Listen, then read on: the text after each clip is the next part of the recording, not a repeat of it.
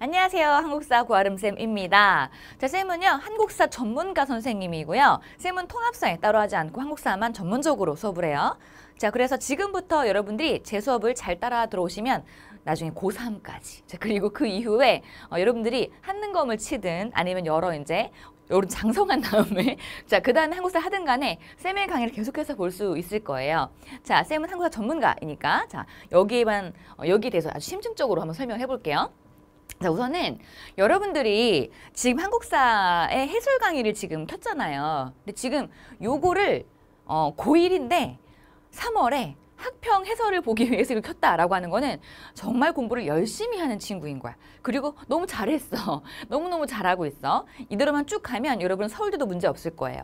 자, 일단 지금 요거를 좀 보는 친구들은요. 나름대로 학습에 대한 그리고 이제 커리큘럼에 대한 요 이해가 좀 있는 친구들이죠. 그래서 여러분들에게 선생님이 어, 앞으로 3년 동안 한국사를 어떻게 공부하면 되는지를 안내를 하고서 들어가 볼게요.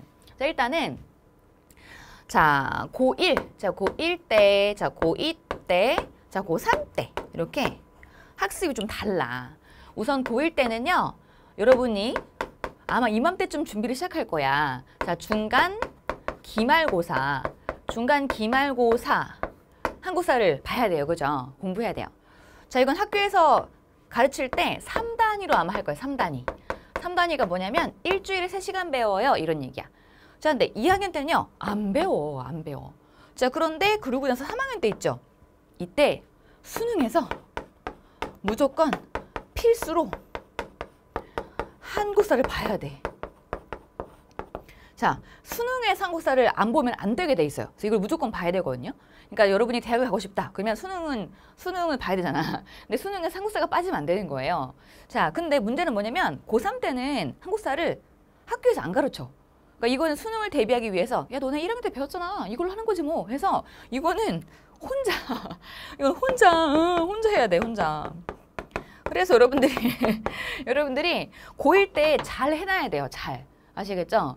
자, 그리고 자, 지금 우리가 해설을 들어갈 요 학력평가 있잖아요. 요거는 수능을 대비하기 위한, 그러니까 수능을 대비하기 위한 한국사예요. 수능을 대비하기 위한. 그러니까 여러분들이 지금 고1이잖아요. 그리고 3월이잖아요. 항상 뭐 배웠어? 별로 안 배웠잖아. 그치? 뭐 진도도 얼마 안 나갔어요. 근데 갑자기 뭐야 전범위가 왜 나와? 이렇게 생각할 수가 있는데 요거는 수능을 대비하기 위한 것이기 때문에 수능, 수능은 무조건 전범위가 나오거든요. 그래서 자, 보세요. 자, 수능은 무조건 전범위가 나와. 전범위. 그리고 원래 내신은요. 이렇게 중간 기말고사 같은 경우는 이제 시기마다 범위가 따로 정해져 있죠. 그죠? 여기는 특정 범위. 특정 범위. 중간고사 같은 경우는 앞부분을 그다음에 기말고사 뒷부분을 배우잖아요. 그러니까 이게 어 1년 동안 내내 수업을 하면서 이제 그 기간에 맞춰서 출제를 하죠. 그죠? 근데 되게 내신은 학교 쌤들이 진도를 나가시기 때문에 뒷부분 진도를 안 나갈 수가 있어. 그러니까 예를 들어서 뭐 이제 우리 근현대사 파트 있잖아. 근현대사의 뭐 통일에 대한 얘기나 아니면은 우리나라 민주주의 실현과 발전 같은 거 이런 것들 이런 게 안 나갈 수가 있단 말이에요. 자 그런데 수능은 그냥 얄짤 없어. 무조건 다 나와. 그러니까 여기는 근현대사가 무조건 세 문제 이상은 무조건 나와. 그러니까 우리나라가 지금 현재 지금 이 정부이지 이 정부. 현재 우리가 사는 이 정부. 여기도 문제가 무조건 나온단 말이에요. 그래서 어 약간 고1하고 고3은 좀 다르게 공부를 해줘야 돼. 자, 근데 지금 우리가 보는 이제 이제 쌤 해설할 자, 그거는요. 자, 요거 고3 고3에 해당하는 예비 시행으로 보는 거기 때문에 어, 요 고3에 보는 시험을 그냥 칠 수는 없잖아. 이때는 좀 내용이 어려워질 거 아니야. 그래서 약간 쉽게 자, 난이도 좀 낮춰가지고 전범위로 됐다. 요걸 알고 가셔야 돼요. 아시겠죠? 자, 그러면 이제 여러분 어떤 생각이 들어요? 자, 고1 때 한 걸 가지고 고3 때 수능을 쳐야 되니까 지금 열심히 해야 되겠지, 그지? 열심히 해야 돼. 열심히 해서 여러분들이 최대한 자기 실력을 탄탄히 한 다음에 고3 때 짧게 복습하는 강좌 정도로 금방 치고 맞출 수 있게끔 이렇게 하셔야 돼요. 알겠죠? 물론 쌤이 고3 때 가도 되면 또 쌤 잘 따라오게 되면 음 되게 쉽게 쉽게 접근할 수 있는 그런 강의를 해주겠지만 그래도 그래도 미리미리 잘 해놔야지. 그지? 자 그러면 이거를 상기하시고 이제 들어가 볼게요. 자 이제는 해설 강의. 자, 해설 강의 이제 들어갑니다. 뿅! 자, 가볼게요. 자, 우선은 1번 문제부터 볼 거예요. 자, 여러분. 어, 수능 한국사에서 자, 요 시험은 수능 한국사를 대비하는 거라 그랬죠? 자, 원래 수능 한국사에서 1번 문제는 거의 대부분 신석기 아니면 청동기 뭐 이것들은 구석기 이런 식으로 거의 석기 시대, 선사 시대가 나와요. 그래서 여기도 여지없이 이렇게 나왔죠. 전시 중인 이 유물은 가시대에 주, 어, 주로 사용된 주먹도끼입니다. 어, 주먹도끼가 나왔어. 자, 주먹도끼는 뭐다? 바로 구석기 시대의 도구시, 구석기 시대. 자, 그러면 구석기 시대 볼 수 있는 모습으로 적절한 것은 그랬는데, 자, 청동 방울 아직 없지, 그지? 일단 청동기가 없잖아. 그다음에 움집에서 불을 피우는 청년, 움집은 신석기 때부터 지금 만든 거고요.